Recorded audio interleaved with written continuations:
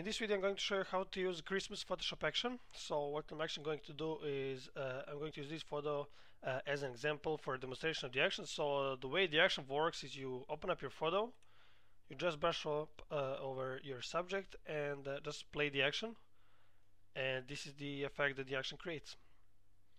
Alright, so as you can see what the action does, it creates the focus on the subject, uh, it creates these uh, textures, it creates these sparkles alright and the action also create a 20 color looks that you can choose from and you can also combine them for creating even more. So uh, there is a lot of options for customizing uh, the designs and uh, just gonna close these two windows now. So uh, before you use the action there are a few things that you should check to make sure the action will not without any errors. So the the first thing is when you open up your photo is uh, that your photo uh, is a background layer so that's the first thing that you should check. So it should be called the background and have this uh, lock icon here. So if you get something like this or anything else just go to layer new and just choose background from layer. And uh, this step will turn your uh, photo uh, photo layer to the background layer if it's not. And also click on this menu icon here and just choose the panel options and make sure you get this option here checked. Add copy to copy layers and groups. And then go to the image mode. And your photo should be uh, in RGB color mode 8-bit channel and then just check the image size here. So your photo should be at least about a, a 1500 pixels wide or height right? So this this photo size okay? And resolution can be anywhere, uh, anywhere between the 72 and 300 ppi Okay, so uh, to, to, load the action, just go to Window, Actions, click on this menu icon here, and choose Load Actions. And here, just choose um, the uh, action from the folder according to your Photoshop version. Right. So just and just double click the action file, and uh, the action folder will appear in your action panel. Just open the folder, and here's the action and what you have to do now is just go to layer new layer to create a new layer and just name it brush. And it's very important that you write the the uh, the word brush exactly like this with the all uh, letters lowercase because the otherwise uh, the action won't work.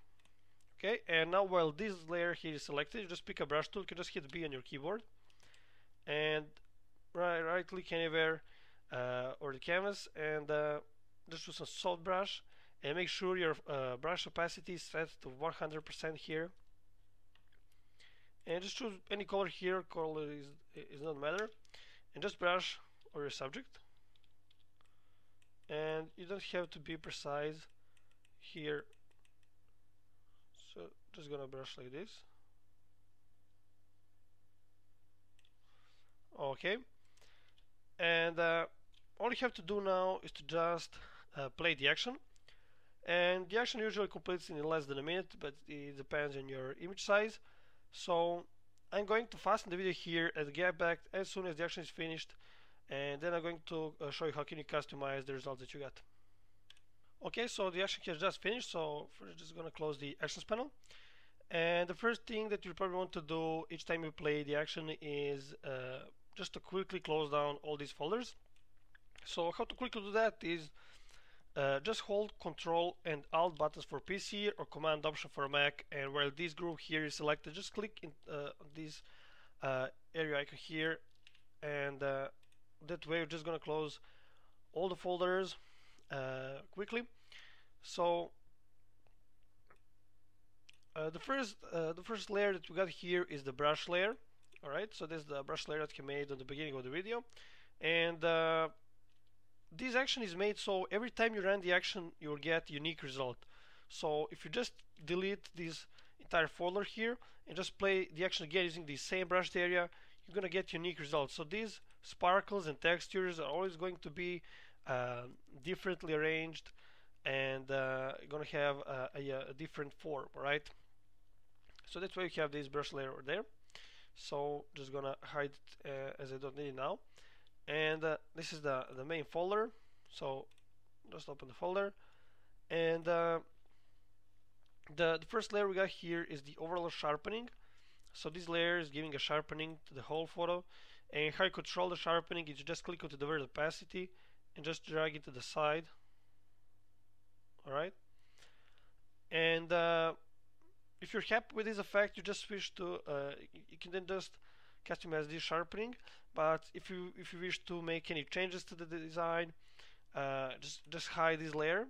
And why is that? Because when you move this layer see it has those edges that are the edges that are giving a sharpening to the effect. So if you make some changes to the effect you, you have to update uh, this layer as well. So just gonna hide it for now and we're going to create again uh, later after uh, finished with uh, customizing uh, the design right so the next layer we got here is the overall saturation. So when you double click here uh, it's by default set to 10 right? So you can just move this uh, pointer to the left or right depending on the uh, you control the you control the saturation that way right?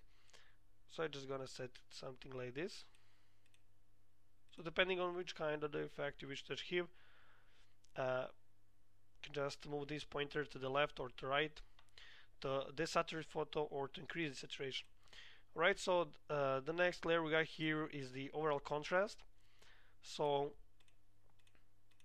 by default it's set to 10% alright so you can just click on the opacity and drag it to the side and that way we're gonna change the contrast. And as you can see it's very sensitive right? And just gonna use some smaller values like this alright uh, the next folder we got here are the color looks. So just gonna open the folder. And uh, here as you can see you got a 20 color looks to choose from. So all you have to do is to select the color look.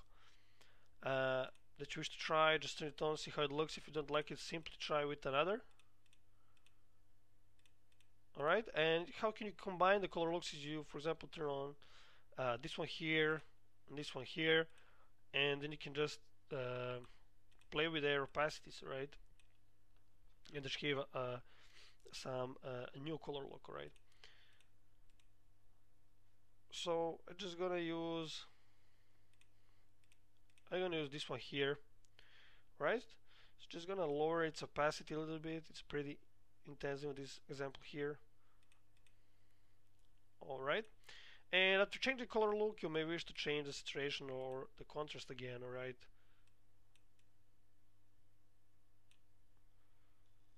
So just gonna set something like this. And I'm gonna leave the saturation so uh, the, the, next uh, folder we got here are the sparkles. So just turn it over and on.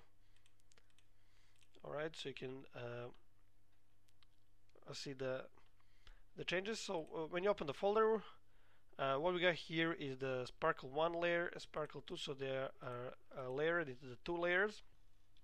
And you can pick a move tool. You can just you can move these uh, sparkles if you want. You can just press Ctrl or Command T on your keyboard and you can transform them. Alright for example like this alright so you can also you can also hide. If you wish to less sparks you can just simply hide one of these two layers. Or you can brush. If you wish to remove specific sparkle you can just brush with uh, with a black color into the layer mask uh, of the of the sparkles that you wish to remove right? So you got the two layers uh, here but if you wish to remove any sparkle where you brush then just select this main layer mask. So this is gonna remove uh, any sparkles uh, where you brush right? Uh, I'm just gonna uh, you, you, there is a, a, layer mask here. So just turn off the layer mask then the sparkles will be visible all over the photo. So they're not visible just inside this brushed area outside of the brush area sorry. So you can just pick a, a brush tool and choose uh, white color as a foreground and you can just brush over the areas where you wish to add uh, sparkles right? Just like this just gonna add them a little bit over there.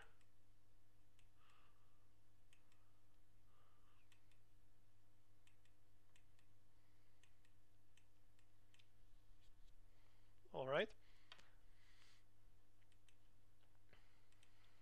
just like that. The next layer we got here is the clarity. So it basically increases the clarity of the of your photo of all the details there so you can just play with these opacity here. Just gonna leave it by default. And uh, what we got here is the color boost. So if I just turn off and on this layer you can see the difference.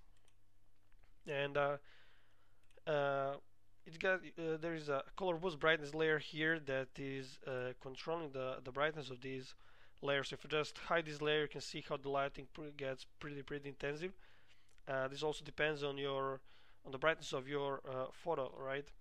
So it may happen that your photo doesn't get so much intensive uh, brightness after you uh, hide this layer. So it depends on your photo but usually it, it will be pretty intensive like this. So you just double click here and uh, you can just uh, move these middle point here right? You can see how the the brightness changes so just gonna set something like this. Alright. And here we got a color boost saturation so you can just play with these values here. Alright I'm just gonna leave it uh, by default. And uh, also uh, I forgot to mention this layer here increase clarity. Has a layer mask so if you wish to remove uh, the, the details on some places right? For example you wish to increase the clarity of the details over here but don't wish over here you can just brush with the black color over there right? And uh, you can also uh, do the same with the color boost. If you wish to remove the color boost some areas you can just brush with the black inside the layer mask. And here we got a textures. Right there uh, textures are visible uh, uh, around uh, outside of your brushed area alright because of this layer mask here so if I had the layer mask they will be visible all over the photo. And uh, here we got another layer mask so if you just hide it uh, you can see the difference. So you can can just uh, it changed the, uh, the density of the textures right? So you can just uh, go to the if you don't have properties uh, panel here you can just go to window and choose the properties and select this layer mask and you can just just change the density of these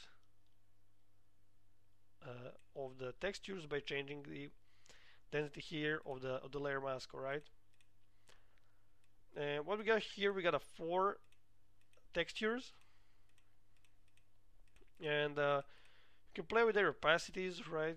For giving a different results you can also select any of those textures layer masks alright and just brush with the black if you wish to remove the texture on, on some area. Okay like this. And you can see that the each textures layer has its color fill layer above it. So you can just double click on the color box and choose any other color. Alright and uh, here we got a um, textures mist.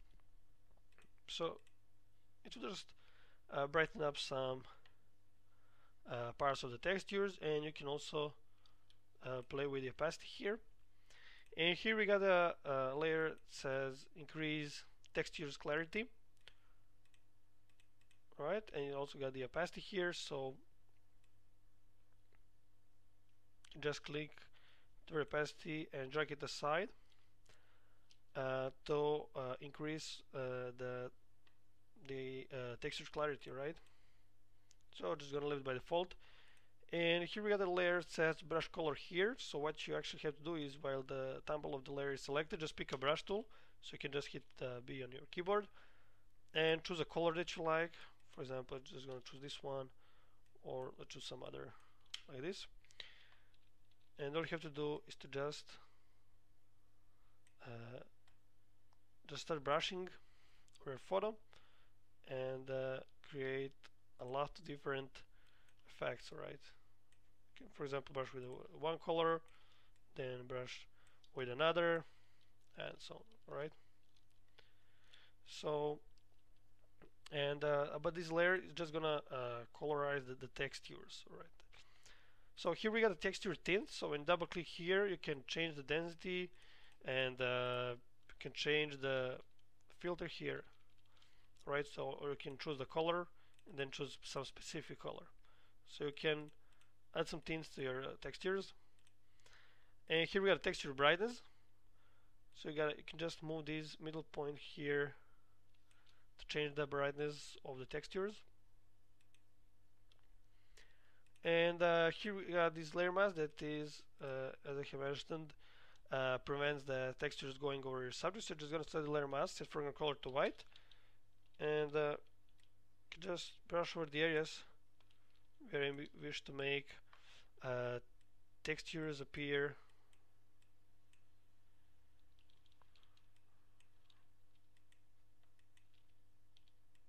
Right so just gonna brush like this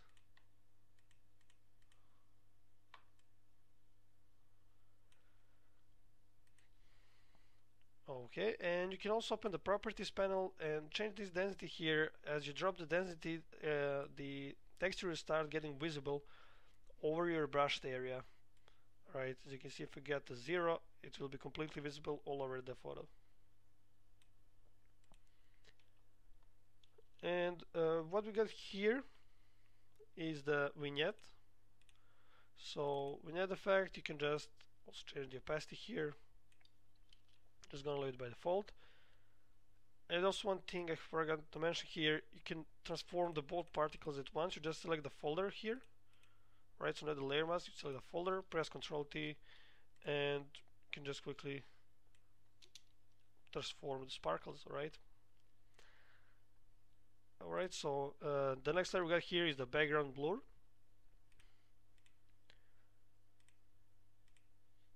Okay you can see a difference. So uh, it will create the focus on your photo so the uh, the area that you brushed will stay will remain in focus and uh, outside the brushed area will be blurred.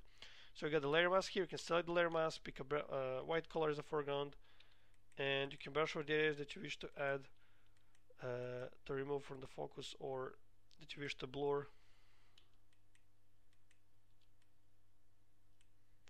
Alright just like this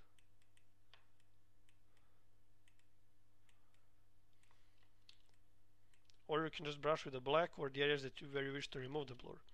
And you can control the amount of blur by clicking the word opacity and dragging it aside. Alright so for each of these layers that I mentioned you can just change the opacity. You can change it always by clicking on the word opacity and dragging it to the side. Or you can click on this little arrow here and uh, then just move this pointer here to any value that you like. Okay and this is just your original photo. So now just gonna uh, delete this layer here. And we are going to create the, uh, the sharpening uh, again as I said on the beginning of the video. So just uh, hold uh, press on your keyboard alt control shift and E or command uh, option shift and E to make a snapshot. And then just go to the filter other high pass. Set radius to 2 pixels and just change the blending mode to hard light. Alright and all you have to do now is to just using the change by changing the opacity set the amount of sharpen that you like. I'm gonna set something like this. Okay. And let's just quickly uh, check the before and after. So this is the before and this is the after. Okay so I hope you understood everything, but if you still need any help or you got any questions, uh, feel free to, to contact me anytime via my Envato profile page. And thanks for watching.